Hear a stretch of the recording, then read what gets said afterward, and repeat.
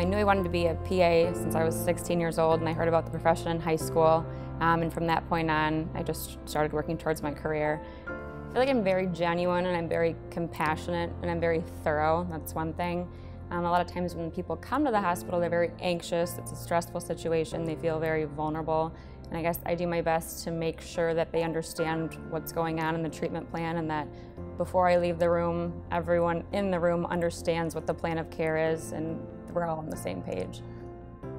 So typically if a patient doesn't really understand their diagnosis, I try and break it down into terms that they would understand. Typically sitting down, talking with the patient. Um, we have whiteboards in every room, so oftentimes I'm drawing on the whiteboard um, and giving them a copy or a piece of paper to take home um, and just breaking it down in terms that they do understand because the medical terminology is pretty complex and most people don't know the you know, standard genre that we use.